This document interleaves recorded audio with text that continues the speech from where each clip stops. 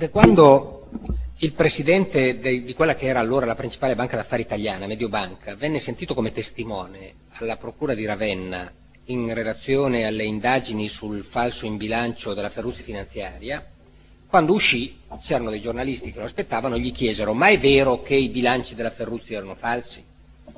E lui rispose io non ne ho mai visto uno che non lo fosse. Si riferiva ai bilanci in generale, non della Ferruzzi. Eh? Allora ci si dovrebbe attendere che il giorno dopo venga cambiata la Costituzione e devoluto il falso in bilancio ai tribunali militari, perché eh, c'è una catastrofe, siamo di fronte a una situazione analoga a Caporetto, bisogna fermare in qualche modo quello che sta accadendo. Invece no, invece fanno una eh, legge che trasforma il falso in bilancio in una contravvenzione, lo conserva come delitto di danno eh, a querela, tranne in casi in cui siano società quotate in borsa o altre eccezioni, eh, a querela dei soci o dei creditori. Ora, a parte il fatto che i creditori non sono mai danneggiati dal falso in bilancio, i creditori sono danneggiati dall'insolvenza, semmai, perché finché pigliano i soldi non sono danneggiati. I soci si dividono in due categorie, o sono di maggioranza o sono di minoranza. Se sono di minoranza sono all'oscuro o se sanno qualcosa sono disturbatori di assemblea. Se sono di maggioranza sono i mandanti del falso. Allora rendere il falso in bilancio perseguibile a querela del socio, ho detto io una volta, è più o meno come rendere il furto perseguibile a querela del ladro. È ovvio che i processi non si fanno più. O al massimo viene esporta la querela al solo scopo di far, come si dice con una brutta parola attuale, calendarizzare il processo con i termini di prescrizione del diritto e rimetterla quando sono maturati quelli della prescrizione. Così si è ottenuto il risultato di ottenere l'impunità. ne ha già fatto un cenno Francesco Greco in... Eh, America, negli Stati Uniti, quando ci fu lo scandalo Enron, invece hanno preso una, una strada del tutto diversa, hanno detto benissimo, i bilanci dell'aereo erano falsi, facile, d'ora in avanti gli amministratori vanno in tribunale e giurano che il bilancio che hanno presentato è vero. Se è falso, commettono il reato di perjury che là è punito con 25 anni di reclusione.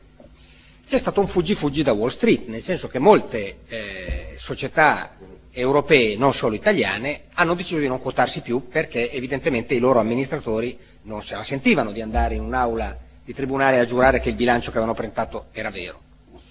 E allora qui c'è un primo problema, eh, perché vedete la differenza tra un operatore finanziario e un giocatore di poker, io me la sono sempre immaginata in questo modo, l'operatore finanziario è uno che legge i bilanci e fa valutazioni meditate su quel che ha visto nei bilanci. Il giocatore di poker è quello che guarda in faccia l'avversario e cerca di capire che cosa ha in mano, perché non si può fare nessun affidamento su quel che c'è scritto nei bilanci. E siccome eh, da noi purtroppo non si può fare alcun affidamento su ciò che c'è scritto sui bilanci, le operazioni finanziarie sono sem quasi sempre partite di poker, con tutti i rischi che sono connessi. Facciamo un esempio, io non mi sono occupato eh, della vicenda Parma, se ne è occupato Francesco Greco, abbiamo già abbastanza processi ciascuno di noi far sì che non ci interessiamo di quelli degli altri, quindi so solo quel che ho letto sui giornali. Ma da quel che ho letto sui giornali ho scoperto, sempre che sia vero, ma credo di sì perché non ho mai visto smentite, che il conto economico della Parmalat intanto stava in pareggio in quanto risultava avere un conto corrente, poi risultato inesistente, in una banca degli Stati Uniti, su cui sarebbero stati depositati 5 miliardi di dollari. Ora, io non ho mai fatto il banchiere in vita mia, ma se fosse venuto da me qualcuno a chiedermi un prestito e mi avesse portato un bilancio in cui risultava che disponeva di 5 miliardi in contanti di dollari, gli avrei chiesto scusi, ma lei perché vuole un prestito? Perché non usa i suoi soldi? Sono costretto a pensare ad una di queste due alternative. La prima è che lei si accinge a fare qualche operazione talmente pericolosa di cui non mi vuol dire nulla e allora perché devo assumere rischi se non sono a conoscenza delle operazioni che lei vuol fare? La seconda è che quel conto corrente le rende così tanto che lei preferisce pagare i miei interessi e guadagna con quelli che danno, ma allora perché devo dare i soldi a lei? Vado anch'io a aprire un conto lì. No? Che io sappia nessuno gli ha fatto questa domanda, nessuno, anzi tutti gli hanno erogato prestiti. Eppure non era una cosa difficile, anch'io che non ho mai fatto il banchiere sarei stato capace di fare questo accertamento. E allora c'è da pensare o a ipotesi di corruzione privata di cui parlava prima Francesco Greco, o al fatto che ormai c'è una tale disaffezione, disinteresse verso i bilanci che tanto non contano, che più nessuno li guarda. Ecco, tanto si sa che sono falsi, è inutile perdere tempo a guardarli. Allora mi chiedo tutti questi poveretti che studiano norme di ragioneria, tecniche contabili, eh, le, le, società di revisione. C'è stato il periodo che le società di revisione erano un mito dell'economia, dell poi abbiamo visto che eh, in realtà eh, si sono sgonfiate. Perché facevo cenno al falso in bilancio? Per due ragioni. La prima è che rimane un'ipotesi in cui per il falso in bilancio si rischia di andare in galera per davvero, persino in Italia dove andare in galera è difficile, eh, perché guardate che se il reato è commesso prima del 2 maggio 2006, per fare un giorno di galera bisogna prendere più di sei anni di carcere, perché tre se ne vanno con l'indulto e tre con l'affidamento al servizio sociale. Quindi mm, ci vuole uno standard molto elevato. Eh, ed è l'ipotesi di bancarotta fraudolenta. Se l'impresa fallisce, i falsi in bilancio diventano ipotesi di bancarotta fraudolenta.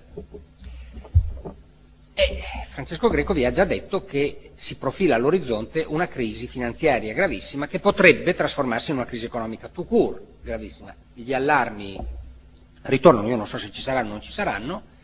Ho notato, insieme al professor Arnone, in un articolo che abbiamo scritto qualche anno fa, una certa eh, ricorrenza empirica, poi io non sono né un sociologo né un economista né eh, uno statistico, ma ho notato questa ricorrenza empirica tra l'esito positivo delle indagini e il ciclo economico. Può sembrare una cosa strana, dice, cosa c'entra? Vedremo che poi ci sono molti altri aspetti in cui eh, ci sono conseguenze economiche delle indagini o sulle indagini. E, dunque la questione è più o meno eh, questa e poi eh, vi dico eh, la spiegazione che ne do. Tanto bisogna fare una premessa, bisogna distinguere tra caccia e preda.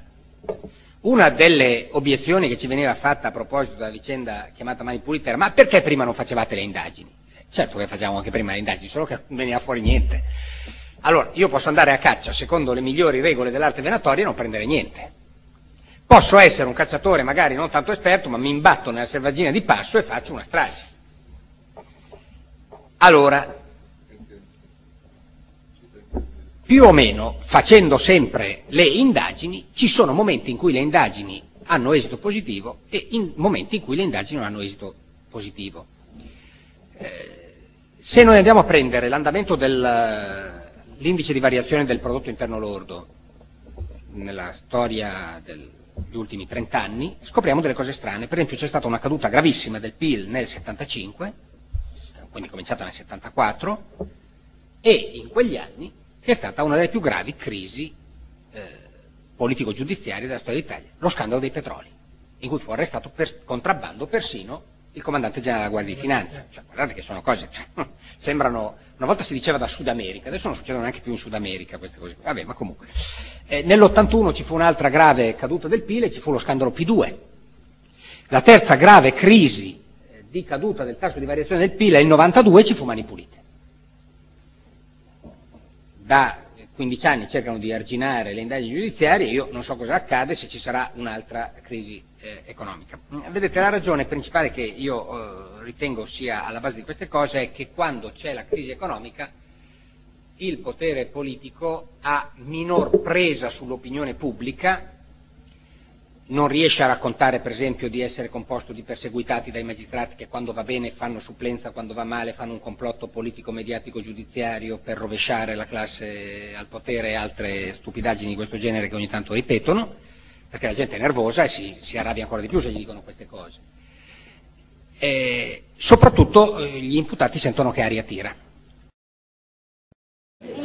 nuove 3I sono queste, informarsi, incazzarsi e informare gli altri. Ciao!